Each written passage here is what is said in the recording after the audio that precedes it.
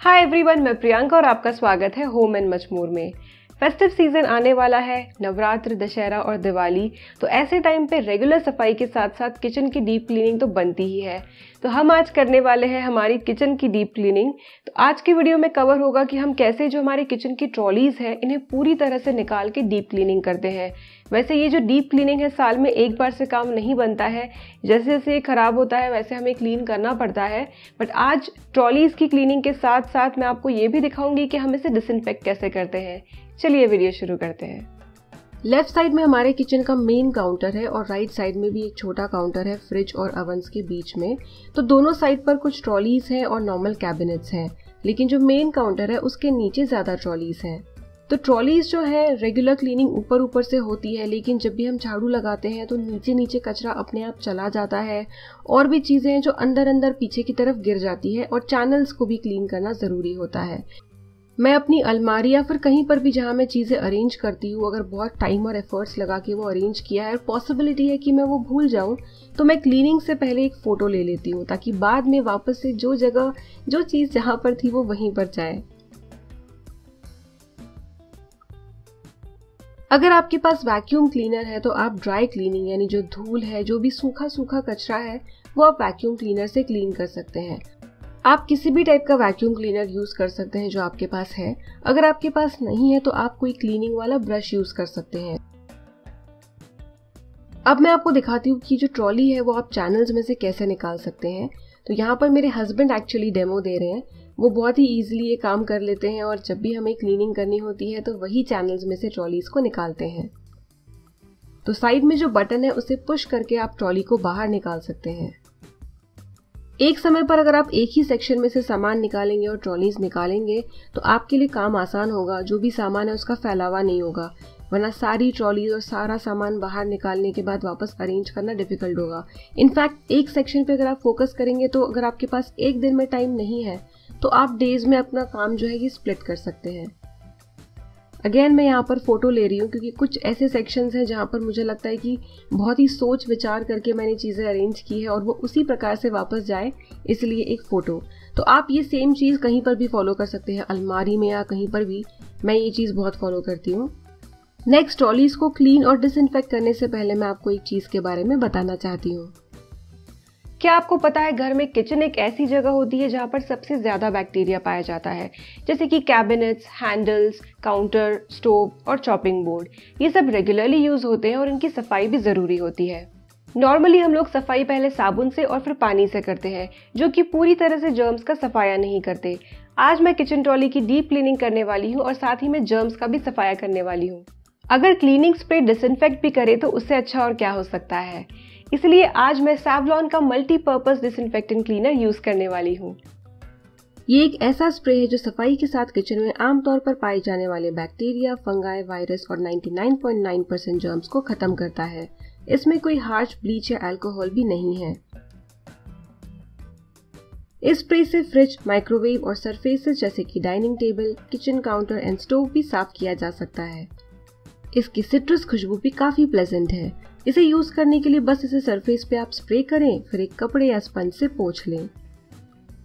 अगर आप भी इस प्रोडक्ट को यूज़ करना चाहते हैं सरफेसेस को क्लीन करने के लिए, अपने घर को फेस्टिवल रेडी करने के लिए तो इसकी लिंक आपको वीडियो के डिस्क्रिप्शन बॉक्स में मिल जाएगी। Savlon multipurpose disinfectant cleaner available है 500 ml बॉटल में, जिसकी प्राइस है वन हंड्रेड रुपीज़ सबसे ऊपर वाले ड्रॉर में कटलरी वाली ट्रे है और जो नीचे के दो ड्रॉर्स है, इनके अंदर बास्केट है स्टेनलेस स्टील की तो इसमें हमारे बर्तन होते हैं। तो एक एक करके हम ये भी निकाल रहे हैं।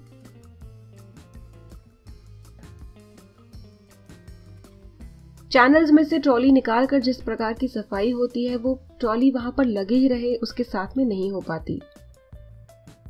तो ये देखिए, वैसे तो हमने हमारे घर के काम के टाइम पे ही पीछे वॉल वाले हिस्से में टाइल्स लगा दी है, ताकि वो जो सेक्शन है वो बहुत ही क्लीन रहे बेटर रहे कंपेयर टू वॉल जहाँ पर पेंट होता है।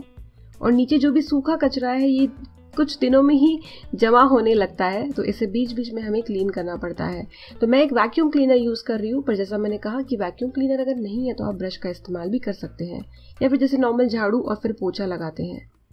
जो चैनल्स है, उसमें साइड में थोड़ी धूल मिट्टी जमी है तो मैं एक छोटा सा ब्रश यूज़ कर रही हूँ।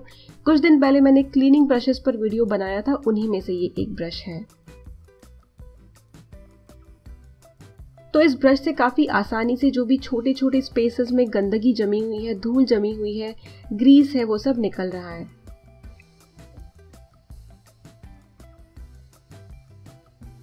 सूखी सूखी सफ़ाई के बाद आप पोछा लगा सकते हैं तो एक से दो बार जितना आपको लगता है कि ज़रूरत है, उसके हिसाब से आप पोछा लगा सकते हैं। जो ट्रॉलीज हमने बाहर निकाली थी, उसमें भी अंदर से गंदगी जम जाती है, धूल जम जाती है या फिर हाथ के निशान लग जाते हैं। और साथ ही मैं डिसइनफेक्ट करने के लिए मैं सैवलॉन का मल्टीपर्पज़ डिसइनफेक्टेंट क्लीनर भी यूज़ कर रही हूँ। और साथ ही में जहाँ पर मुझे लग रहा है कि छोटी स्पेसेस में धूल है, मिट्टी जमी हुई है तो छोटा वाला ब्रश भी मैं यूज़ कर रही हूँ।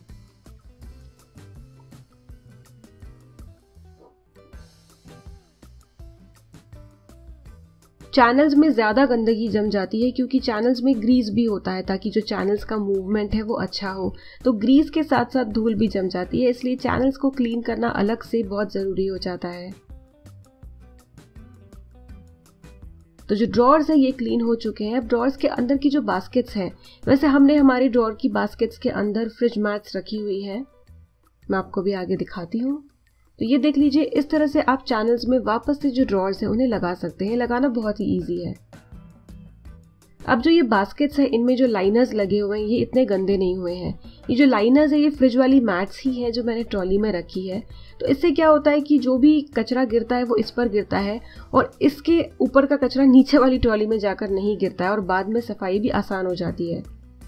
तो आपके घर में भी टैंडम ड्रॉर्स अगर नहीं है, आपके घर में ऐसी ही ट्रॉलीज है तो आप उसमें ज़रूर एक लाइनर लगाएँ। और फ्रिज मैट अगर आप लगाएँगे तो फ्रिज मैट जो होती है स्टिफ होती है तो साइड से कर्ल या फिर रोल नहीं होती। बस इसी तरह से जो बाकी के सेक्शंस हैं, हम उन्हें भी क्लीन करने वाले हैं। तो जिस तरह से चैनल्स निकाले, उसी तरह से साइड वाले ड्रॉर्स भी हम निकालेंगे और क्लीन करेंगे।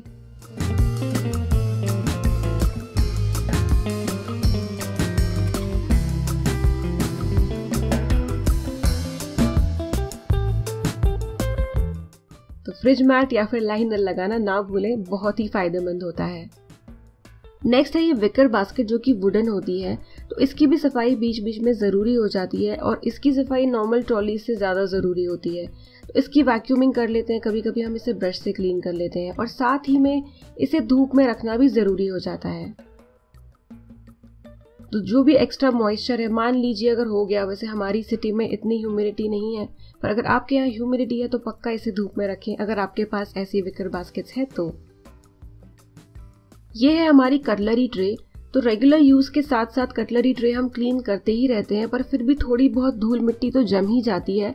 तो पहले मैं इसे ड्राई ड्राई पोछ रही हूँ और उसके बाद मैं ये क्लीनर यूज़ करके इसे भी डिसइनफेक्टेंट क्लीन करने वाली हूँ। आप चाहें तो आपकी जो कटलरी ट्रे है, इसे आप वॉश भी कर सकते हैं। अगर ज़रूरत हो तो वॉश करें, वरना आप ऐसे वाइप करके क्लीन कर सकते हैं।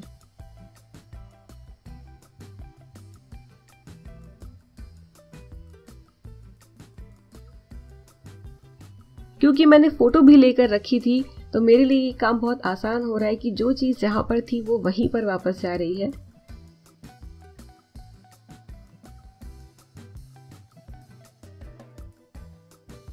तो इस तरह से करते हैं हमारे किचन की ट्रॉलीज की डीप क्लीनिंग। आई होप आपके लिए भी ये वीडियो यूजफुल रहा हो। अगर आपको ये वीडियो पसंद आया हो तो इसे ज़रूर लाइक करें और होम एंड मच मोर को सब्सक्राइब करें। मिलते हैं अगले वीडियो में, तब तक के लिए बाय।